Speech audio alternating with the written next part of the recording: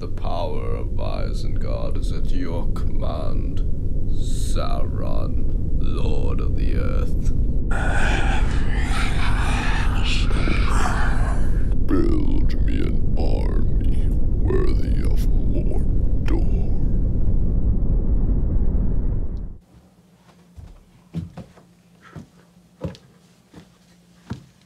What orders for Mordor, my lord?